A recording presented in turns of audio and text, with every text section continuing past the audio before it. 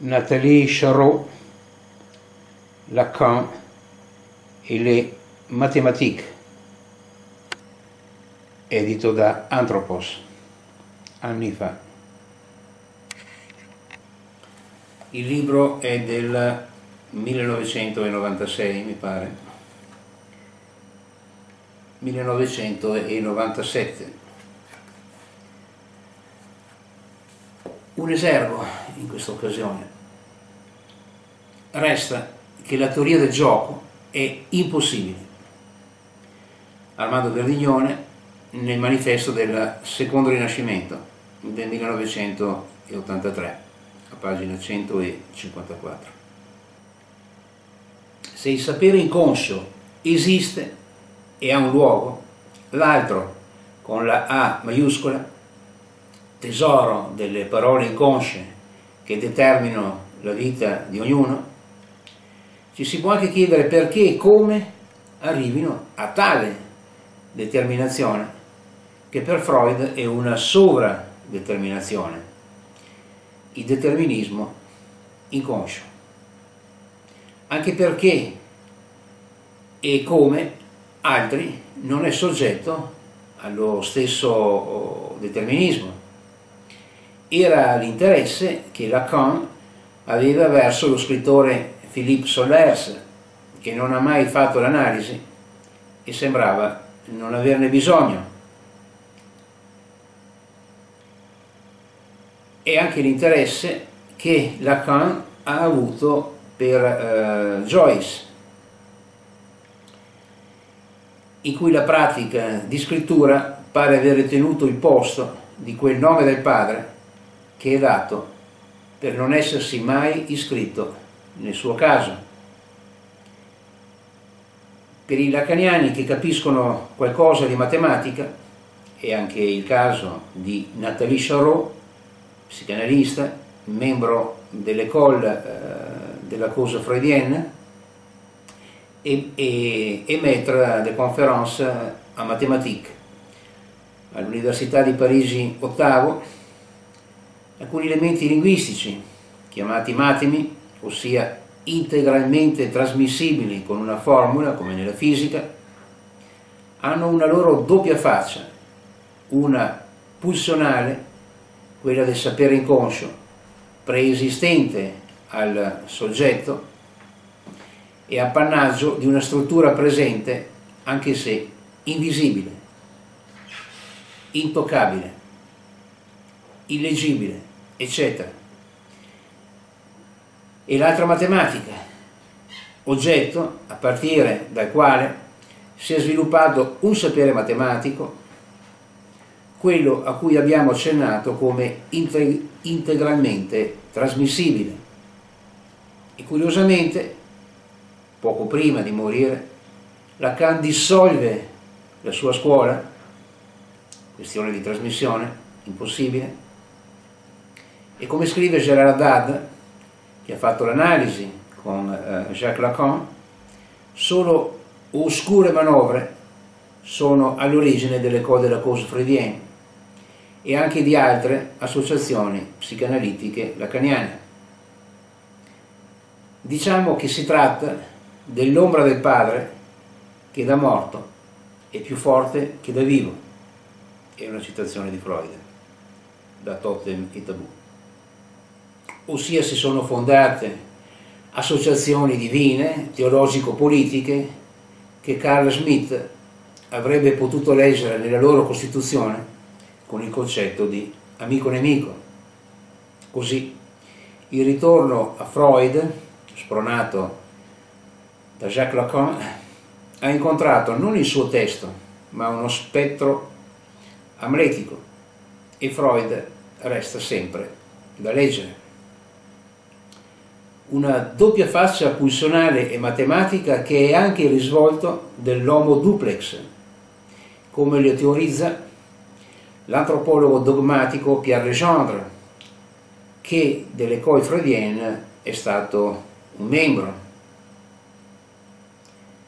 Perché ci sia questa doppia faccia pulsionale e matematica non è oggetto di analisi e pare una constatazione che vale come postulato e non appunto come assioma, ciò che vale entra nel viaggio intellettuale di ciascuno.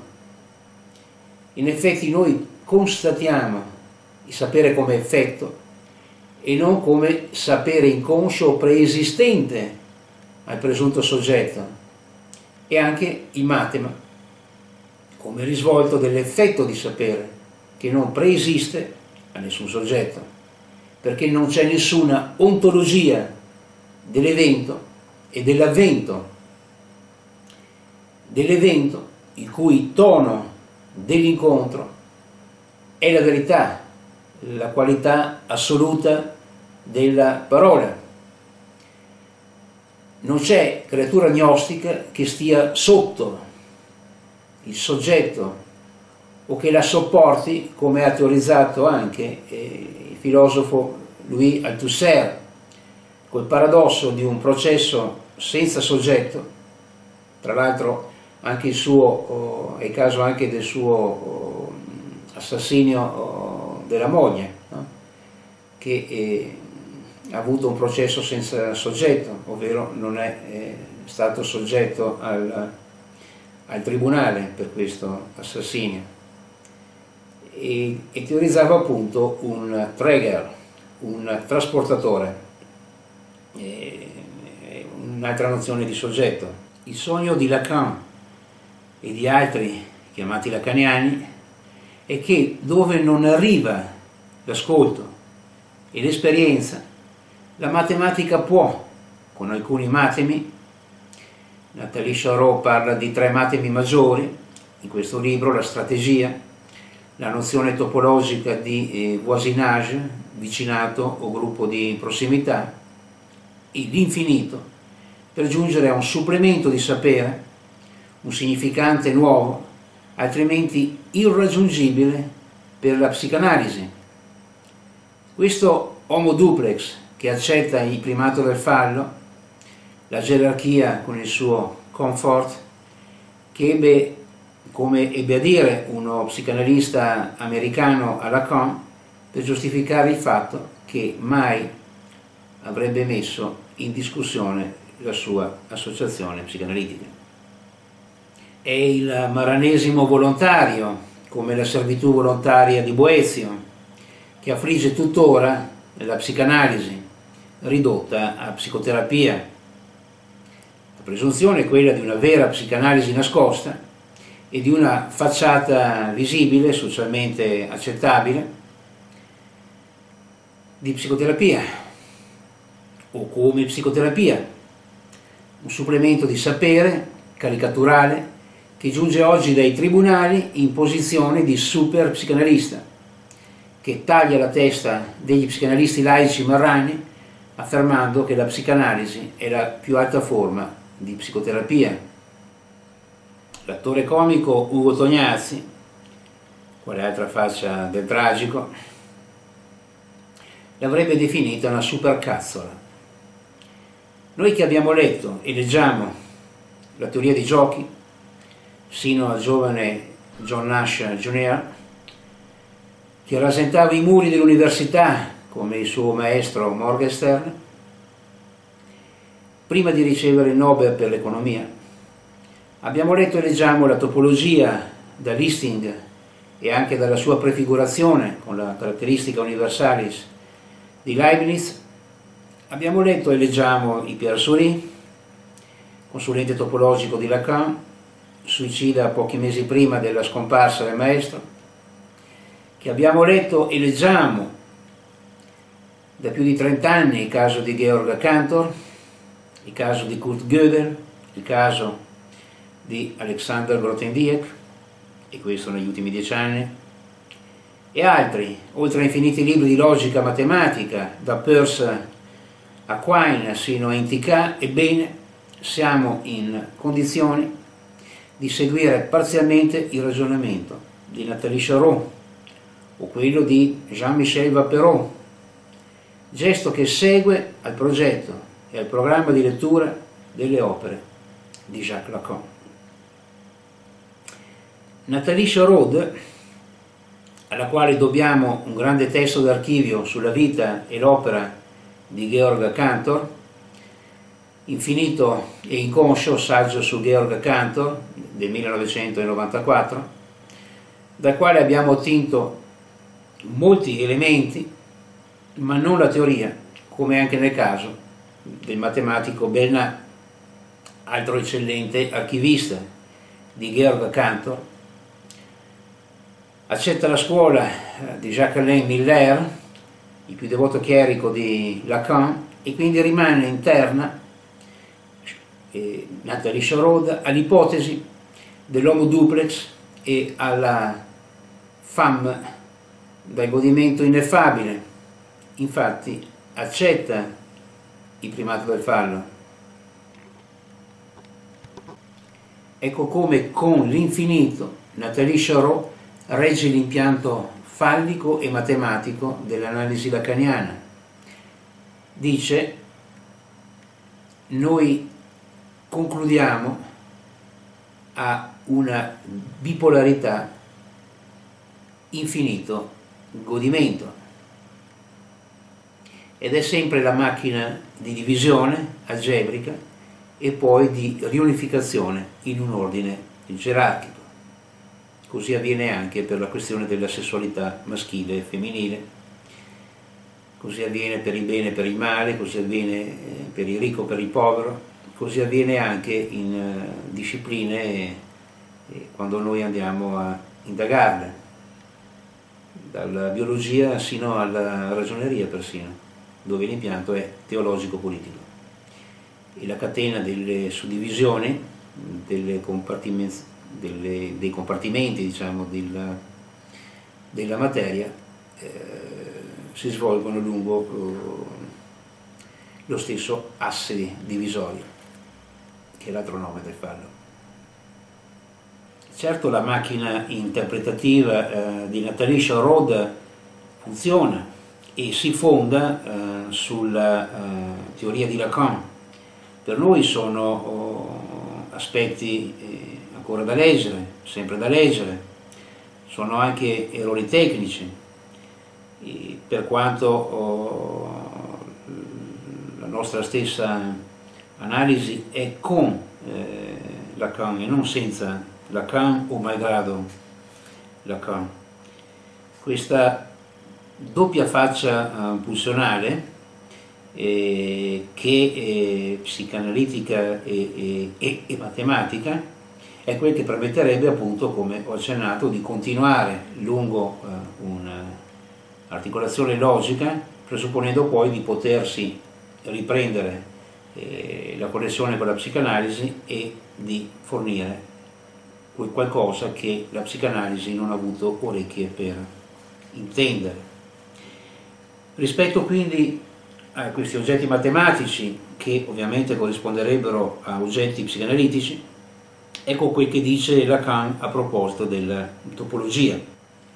Confermo che è del discorso di cui si fonda la realtà del fantasma, e si tratta del discorso matematico, che di questa realtà ciò che c'è di reale si trova iscritto. Per noi si tratta di una costruzione fantasmatica che non ha nessuna realtà e nessuno sbocco reale, mantenendo distinte le nozioni di realtà e di reale come fa Lacan ma lui conferma eh, che è del discorso eh, che si fonda la realtà del fantasma, ma il discorso è effetto, non è causa, non c'è questa realtà del fantasma, il fantasma vuol dire copia, la realtà della copia vale quel che vale, vale un altro fantasma. E il s'agit du discours mathématique, il discorso che fonda la realtà del fantasma, quindi il discorso matematico come fondatore del fantasma e della sua realtà. E che questa realtà, che si potrebbe dire che in Lacan in breve è la caricatura del reale, ciò che c'è di reale si trova iscritto, cioè quel che di questo reale si troverebbe iscritto, e sappiamo che il rapporto sessuale non si trova iscritto, sarebbe dato dal eh, discorso matematico, ovvero non c'è nulla di iscritto perché il discorso matematico preso in questa accezione eh, che fonda la realtà del fantasma è un fantasma. Il fantasma è irrealizzabile, è, è, è tentativo di padronanza e di controllo sulla vita. Come può scriversi? È la vita che si scrive.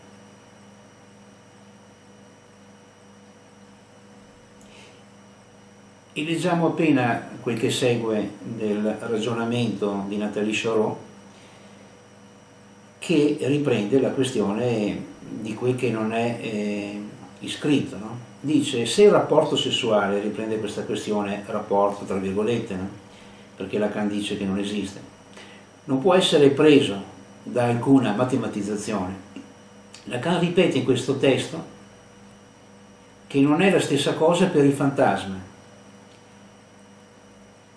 la cui costruzione si appoggia eh, sul cross cap, eh, sul piano proiettivo, eh, su un oggetto oh, matematizzabile, eh, dice appunto eh, Charot, e fonda la realtà del fantasma.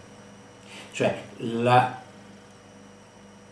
il fantasma come coppia, che non ha nessuna realtà se non di fantasma,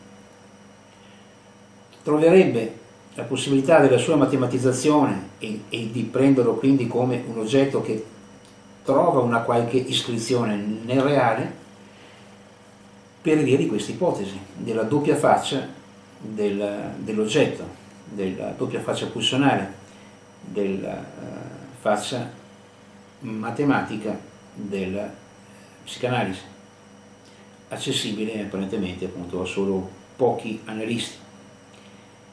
Dice Natalie Charot, questo oggetto per ciascuno comanda, ancora una volta la questione del comando, della sovradeterminazione, della guida, il suo rapporto alla realtà. Ma se la realtà è il fantasma del reale, comanda il fantasma? Il fantasma matematico comanda il fantasma del presunto soggetto? Sì, se vogliamo sì chi crede alla matematica come comandante è matematicamente comandato, è matematico. La sua riduzione, parla dell'oggetto, al matema ne rivela la doppia faccia pulsionale e matematica. Questa è l'ipotesi di base, no? che le cose abbiano una doppia faccia. L'homo duplex ha una doppia faccia se l'uomo è diviso, è già diviso tra uomo e donna, ideologicamente. Se è diviso da se stesso, è homo duplex. Anche il famoso soggetto diviso è homo duplex. Leggiamo un altro fiore all'occhiello di determinismo, che è anche il bersaglio di Heidegger per distruggere la nozione freudiana di rimozione nei seminari di Zollico, filosofo che poi si sbilancia con la sua sovradeterminazione della tecnica, sino alla trasformazione dei fondi da pane in forni crematori, per l'eliminazione industriale degli ebrei, e non solo, c'erano anche zingari, omosessuali, malati mentali, testimoni di Geova. Ecco qui il passo, dice, dall'altra parte dello specchio la strategia inconscia trama ciò che il soggetto va a fare della sua immagine, delle carte, del suo destino e del suo rapporto agli altri. Questa strategia è determinata da una ottimizzazione di ciò che soddisfa il desiderio del soggetto tutto come se il sogno fosse una realizzazione di un desiderio. strategia determinata, soggetto determinato, la necessità della nozione di soggetto che praticamente non c'è in Freud e questo determinismo è il, la, la, segue all'accettazione della doppia faccia della gnosi qui anche come ottimo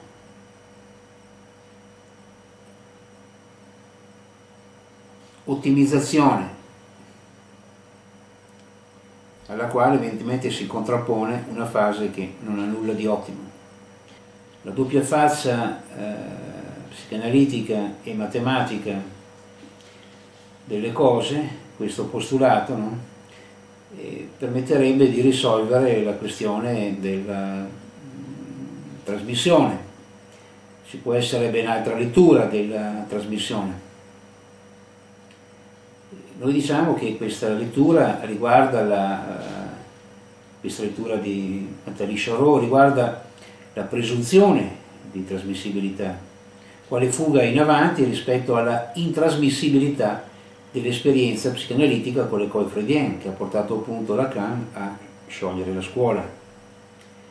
Dice, se il matema è una nozione che traduce qualche cosa del sapere inconscio, quindi non il sapere inconscio come effetto, ma il sapere inconscio come preesistente e la possibilità di una qualche traduzione.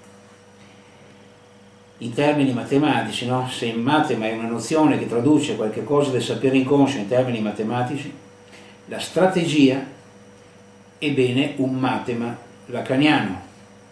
Noi abbiamo mostrato che, dice, nella teoria dei giochi di strategia, poteva essere trasmissibile la psicanalisi. La psicanalisi può essere trasmissibile attraverso la teoria dei giochi e questo è un sogno a occhi aperti. Si dovrebbe dire che la lettura di Nathalie Charot, almeno in questo testo, ma anche in quello di, di, dialogo accanto, è senza lo zero non c'è lo zero, non c'è il nome, non c'è il padre, non c'è la nominazione.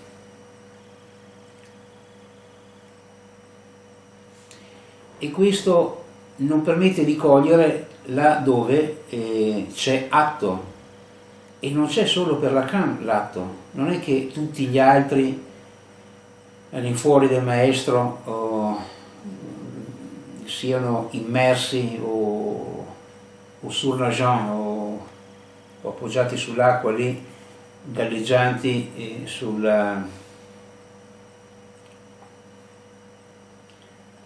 sulla questione, senza intenderla. Dice per esempio, a partire dal momento in cui Lacan abbandona l'intersoggettività,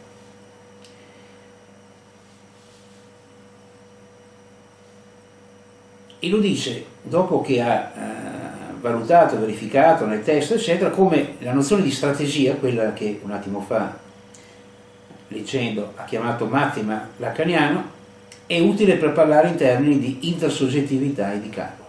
Cioè, Lacan teorizza con la nozione di strategia l'intersoggettività, differentemente da uh, una relazione speculare tra due, ha bisogno di quattro elementi per reggere questa intersoggettività e di calcolo.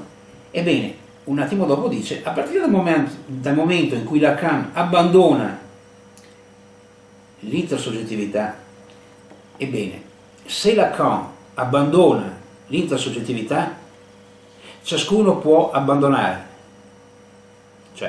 Noi facciamo una certa lettura del soggetto, come è una lettura gnostica, eh, che è il cartesio, che è un aggiornamento insomma, della, del burattino insito nelle, nei tre principi eh, di Aristotele, la A che viene usata, no? la A uguale ad A, la A eh, o non A e il non A escluso. Quindi dal momento in cui eh, Pinco abbandona il soggetto, Palla abbandona il primato del fallo, che cos'è questo abbandono? Cioè, Lacan se lo può permettere e Nathalie Charot non può abbandonare Lacan? Perché non può abbandonare Lacan?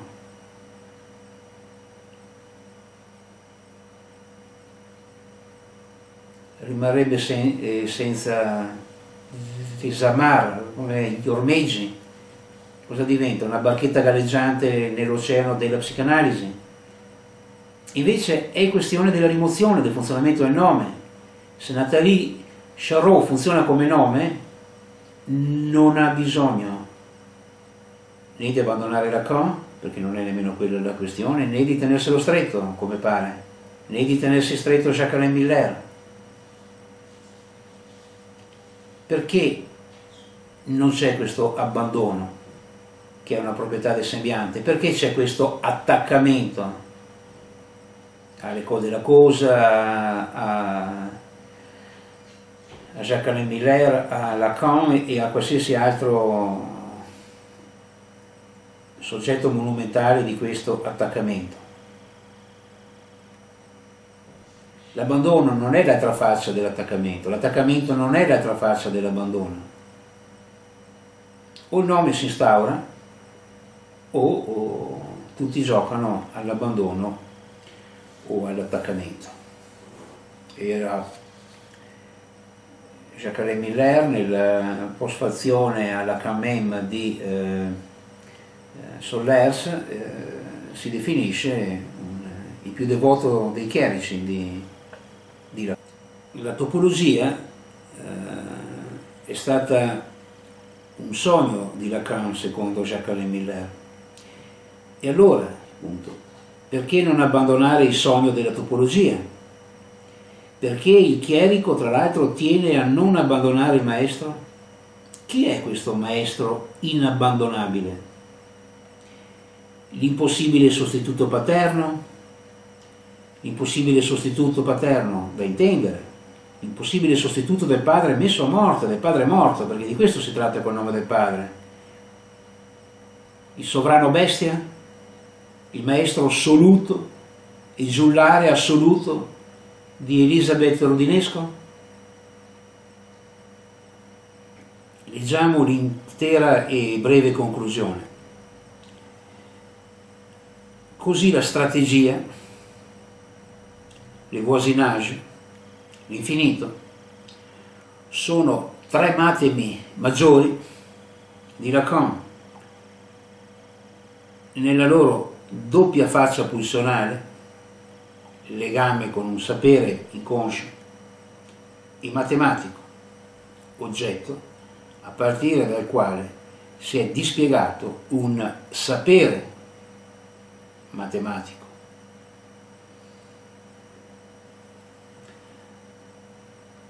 Quello che per Nathalie Charot è l'approdo, la conclusione per noi è la partenza, è l'avvio dell'indagine, un'indagine linguistica sulla strategia, sulla vicinanza, sulla prossimità, le voisinage, sul finito, sull'infinito, sull'ipotesi di questa doppia faccia pulsionale. La dualità pulsionale non è la doppia faccia pulsionale, Esiste un sapere inconscio come preesistente e non come effetto invece nell'atto di parola?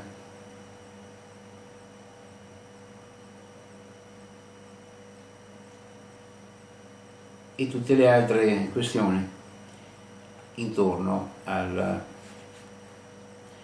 matematica e al suo funzionamento.